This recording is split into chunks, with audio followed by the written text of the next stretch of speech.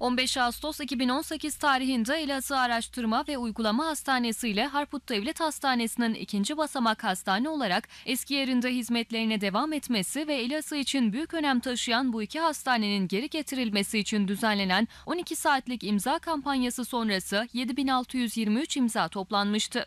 Konuyla alakalı Azarsan Başkanı Profesör Doktor Bilal Çoban tarafından bir açıklama yapılmıştı. Profesör Doktor Çoban imza kampanyasının sona ermesiyle birlikte toplanan imzaların 27 Ağustos 2018 Pazartesi saat 14'te Merkez PTT binasından kargo ile ilgili makamlara gönderileceğini söylemişti. Hazarsan Başkanı Profesör Doktor Bilal Çoban Elazığ PTT şubesinden bu imzaları gönderdi.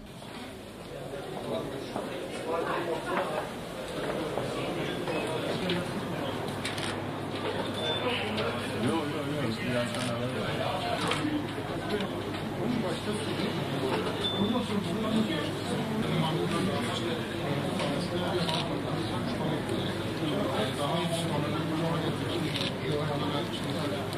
Hazarsan Başkanı Çoban açıklamasında bayramdan önce 12 saatlik bir imza kampanyası başlattıklarını söyledi ve toplanan imzaların AK Parti Genel Başkan Vekili Numan Kurtulmuş'a, Sağlık Bakanı Fahrettin Koca'ya, Elazığ Valisi Çetin Oktay Kaldırım'a, Elazığlı siyasi ve bürokratlara ve siyasi parti il başkanlarına gönderdiklerini söyledi.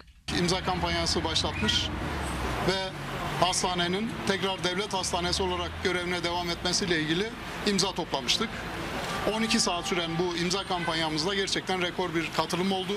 7623 kişi 12 saat içerisinde devlet hastanesinin tekrar aktif olarak hayatını devam ettirmesi konusunda geldiler, imza verdiler. Ancak araya bayramın girmesiyle birlikte e, biraz önce postaneye PTT kargo aracılığıyla geldik ve bu imzaları çoğalttığımız imzaları ilgililere gönderdik.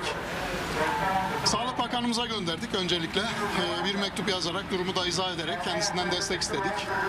Ee, AK Parti e, Genel Başkan Vekili Sayın Numan Kurtulmuş'a e, bir tane dosya gönderdik. Beş tane milletvekilimize gönderdik. İki tane bakan yardımcımız var. Elazığlı hemşerimiz. Onlardan destek istedik. Birer dosya da onlara gönderdik. AK Parti, Milliyetçi Hareket Partisi ve Cumhuriyet Halk Partisi il başkanlarına göndererek yine onlardan da benzer bir şekilde e, durumu izah ederek e, destek istedik ve Sayın Valimize göndererek yine e, kendisini bilgilendirip konuyla ilgili destek istemiş olduk. Profesör Doktor Çoban devlet hastanesinin açılmasını arzu ediyoruz dedi ve kendi çözüm alternatiflerini ifade etti. Talebimiz şudur. Türkiye'nin sadece Elazığ ilinde devlet hastanesi yoktur. Ee, Bir devlet hastanesi açılmasını arzu ediyoruz.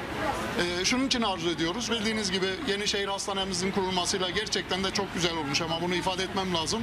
Harika bir e, şehir hastanemiz oldu. Ben de gittim, gezdim. E, Bir iki hasta ziyaretinde de bulunduk. Gerçekten harika.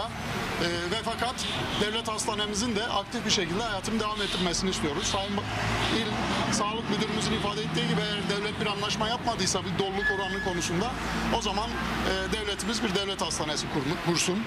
Eğer ortada bir anlaşma varsa o zaman Rönesans grubu gelsin, devlet hastanemizi aktif hale getirsin, orayı da işletsin. Ama bu ikisi mümkün gözükmüyorsa üçüncü alternatif olarak da Fırat Üniversitesi Hastanesi'ne devredilsin. Ama e, lütfen devlet hastanemiz olsun. E, hem 250 dönümlük arazi bakımından e, hem hastanenin kurulumu ve bütün teşrifatıyla birlikte hazır halde olması bakımından bu bir milli servettir. Hazarsan Başkanı Profesör Doktor Bilal Çoban yaptığımız bu imza kampanyasıyla tekrar devlet hastanemizin aktif hale getirilmesini arzu ediyoruz dedi.